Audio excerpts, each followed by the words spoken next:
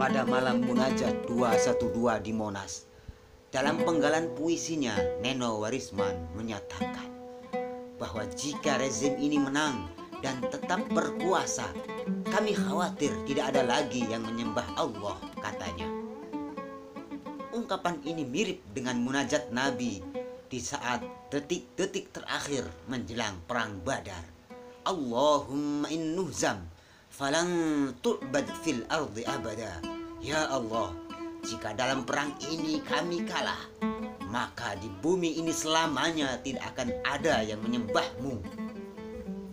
Jadi, Neno Warisman ini menarasikan penguasa dan semua yang menentang dia dan kawan-kawannya sebagai kafirin.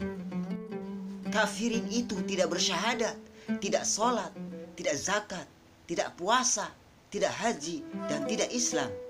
Dia memposisikan kelompoknya sebagai Nabi Muhammad dan tentara pasukannya, dan yang sedang dihadapinya sebagai kafir Quraisy. Apakah Neno Warisman dan kawan-kawan menganggap penguasa sekarang dan semua yang bersamanya adalah kafir Quraisy alias kafir harbi? Apakah jika dalam pemilu nanti kelompoknya kalah, umat Islam akan dibantai habis dalam lima tahun ke depan? Atau tiba-tiba hilang lenyap di telan bumi? Dan jangan, jangan kau tinggalkan kami dan menangkan kami. Karena jika engkau tidak menangkan, kami khawatir ya Allah. Kami khawatir ya Allah. Tak ada lagi yang menyembahmu ya Allah. Itulah tadi penggalan puisi dari Neno Warisman. NU yang selama ini mengawal bangsa dan menjaga Islam dari musuh yang berkedok Islam menjadi terusik dengan puisi ini.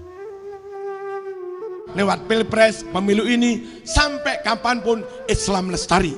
Ahlu sunnah wal jamaah lestari. NO lestari. NKRI lestari. Bodoh banget.